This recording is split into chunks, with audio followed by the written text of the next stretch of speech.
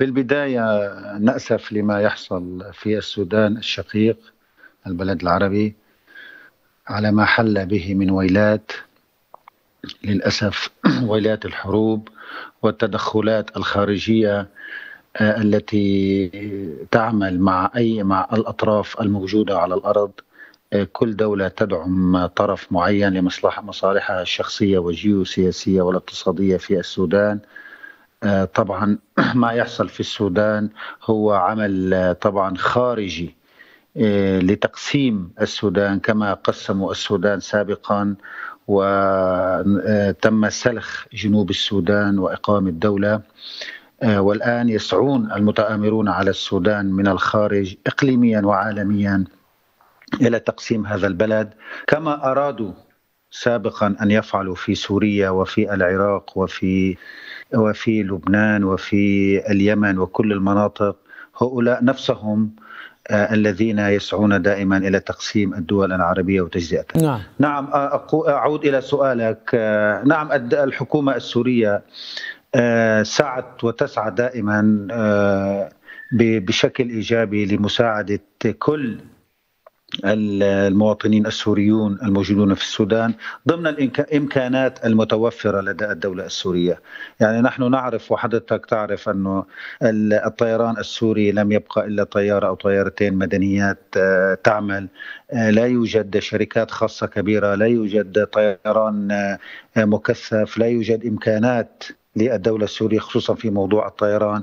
هذا موضوع أول. موضوع ثاني العدد الكبير جدا للمواطنين السوريون الموجودون في في السودان آه، يتطلب عدة دول عدة دول لكي تتعاون في هذا الموضوع. لكن يعني أستاذ سليم أستاذ مروان يتطلب هذا وجود الحرب يتطلب خطة من الحكومة السورية لمعالجة هذا الأمر. نعرف أن الإمكانات الحكومة السورية قليلة لكن ما يجري يتطلب خطة لإجلائهم فورا سواء عبر الدول طبعاً المجاورة أو طبعا طبعا هناك خطط تقوم الدولة السورية بإقامة خطط آه، على الأرض تكون عملية. يعني نريد خطة عملية على الأرض نتيجة الحروب حروب الشوارع التي تستمر ليلا نهارا على الأرض آه، السودان وخصوصا في العاصمة يعني أنت تشاهد ماذا تفعله الدول الأجنبية والعربية من إجلاء المواطنين المتواجدين في السودان عبر البر وعبر البحر وحتى الطيران. نعم هناك ما لا لا يمكن أن نقارن من بعد حرب 12 سنة على الدولة السورية والعداء الكبير من من كل الدول على للدولة السورية والتآمر على الدولة السورية. نقول أن هناك ما يقوم به تقوم به مصر وتقوم به السعودية ويقوم به الدول العربية وأمريكا وبريطانيا من إجلاء رعاياها بإمكاناتهم. نفس إمكانات الدولة السورية الشتانة ما بين الإمكانات نتيجة الظروف نعم ونتيجة العدد والكم. أقول لك صديقي نحن هذا هذا الموضوع الموضوع الإجلاء وغير الإجلاء هذا موضوع واجب على الدولة السورية ضمن إمكاناتها ولا تقصر الدولة السورية. ولكن هناك موضوع أكبر من موضوع الإجلاء واكبر موضوع هو استغلال للأسف الاستغلال السياسي لهذه المواضيع من قبل أكثر من جهة عالمية لهذا الموضوع واستغلال أي موضوع يسيء للدولة السورية. ولو كان هذا الموضوع خارج إنساني. إرادة الدولة السورية. وحتى لو كان إنسان أو غير إنسان لكن تتواجد سفارة الحكومة السورية لم تقطع علاقتها في السودان وتتواجد سفارة آه، لحكومة سوريا في الخرطوم حاليا. نعم هذه السفارة هي سفارة موجودة ويوجد آه، سفير ويوجد ولكن للأسف الإمكانات ضعيفة يا سيدي. هناك إمكانات ضعيفة جدا جدا جدا. يعني حتى إمكانات العناصر الموجودة لدى السفارة السورية هي قليلة، إمكانات المادية قليلة، الإمكانات اللوجستية على الأرض آه، وفي الجو كمان آه، تعتبر قليلة جدا قياسا للدول الأخرى. آه، نحن نطلب يعني نطلب مساعدة أين الدول العربية التي تملك الإمكانات الهائلة؟ طبعا هناك دول قدم طلب قدمت المساعدات نوعا ما.